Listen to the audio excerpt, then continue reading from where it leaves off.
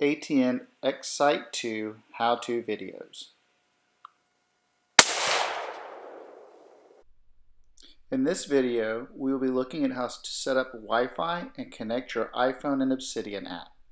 First, go to Settings, then go to Settings again. Go down to your Wi-Fi and Bluetooth. We're doing this to find out the SSID and password. Here you'll see the SSID is X-Sight AF62 and the password is ATN underscore Obsidian. Next, you will go into the quick settings dial and turn on the Wi-Fi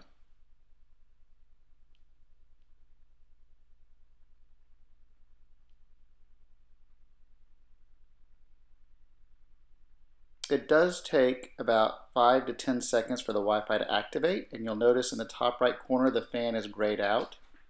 When it turns white, that means the Wi-Fi is on. Next, we'll use our iPhones to connect to the X-Sight 2.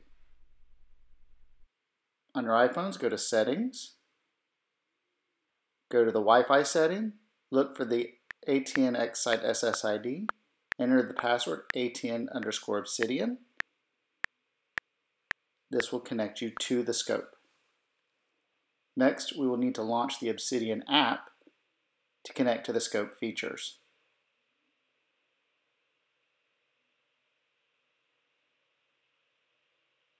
Here you'll select your scope. From here you can access the system settings.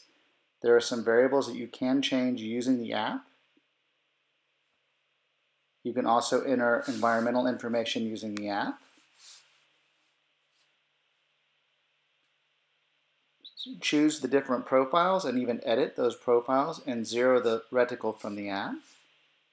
You can choose different reticle styles and you can go through the viewfinder.